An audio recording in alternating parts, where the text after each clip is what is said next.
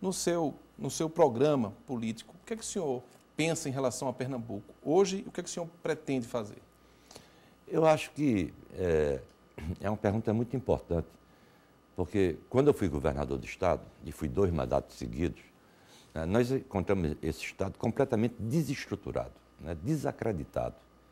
Né? Eu, quando assumi, tive que pagar a folha de pagamento de janeiro e tinha mais duas folhas de pagamento atrasadas. Imagina o inferno que é um Estado com a tradição e com a história de Pernambuco. Do tamanho que é. Do tamanho que é Pernambuco, você ter que administrar três folhas de pagamento no início de um governo. Foi assim que eu encontrei o Estado. Não é? Desacreditado, devendo a, a, a todo mundo. Eu sempre disse até na ocasião, Pernambuco deve a duas pessoas, a Deus Sim. e ao mundo. Né? Resultado, foi um trabalho para ajustar as contas do Estado. É, a população em baixa estima, a população reclamando porque Bahia crescia mais, o Ceará crescia um pouco mais do que Pernambuco. Né? E nós investimos na infraestrutura. Eu não inventei a infraestrutura de Pernambuco, ela já existia, porque outros governadores fizeram isso. Eu melhorei, eu fiz um upgrade, né? elevei a, a, infraestrutura de Pernambuco, porque ninguém vem investir aqui. Né? A TV Tribuna pertence a um grupo econômico muito importante de Pernambuco. Mas pergunto para esse grupo econômico se ele vai investir num lugar que não tem estrada, num lugar que não tenha água, num lugar que não tenha aeroporto, que não tenha porto. Né? A gente fez tudo isso. A gente investiu brutalmente em Suape, para que Suape passasse a ser um referencial novo dentro de Pernambuco e pudesse competir com o Ceará e com a Bahia. Nós investimos em estradas, construímos a, a fizemos a duplicação da BR-232, hoje até a primeira fase Recife, Caruaru, 130 quilômetros, depois mais 20 quilômetros de duplicação até a cidade de Garanhuns. Aqui onde eu estou falando tem uma obra fundamental da gente, é? a triplicação da PE 15. As pessoas saíam de, de Igaraçu, é, de Araçoiaba, vinha de Goiânia, é, de Itamaracá, para chegar a Recife de manhã, um trabalhador levava três horas para chegar no Recife. Nós construímos, triplicamos, fizemos viadutos, né, para que essa população chegasse mais cedo à, à, capital, à cidade do Recife.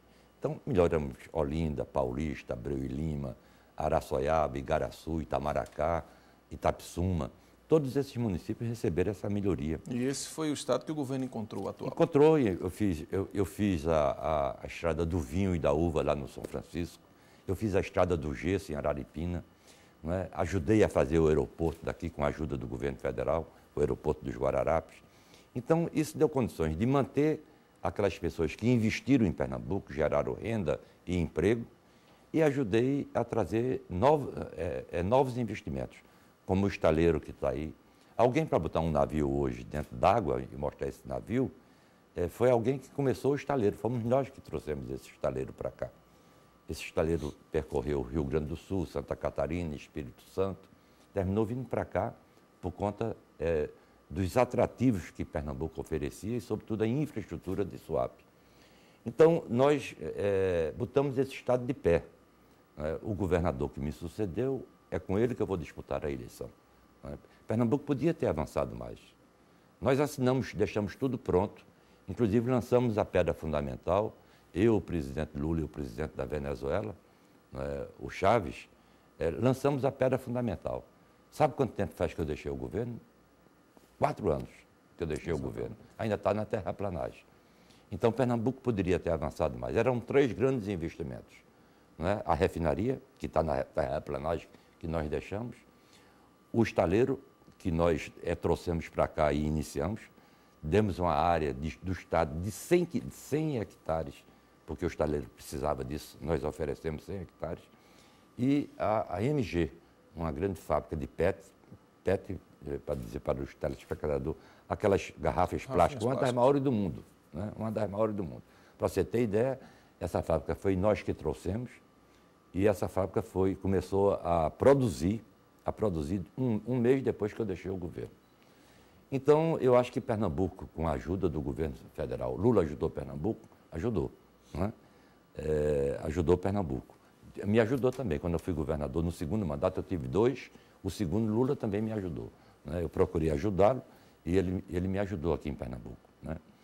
Só que Pernambuco deveria ter caminhado mais, deveria ter feito mais. É, foi feito, mas poderia ter feito muito mais.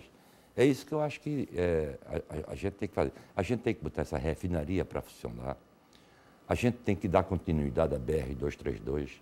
A gente tem que fazer novos acessos para Recife, que Recife está completamente estrangulado. Não é? Em suma, a gente tem que investir naquilo né, que possa gerar renda e possa gerar empregos. A minha disposição é essa.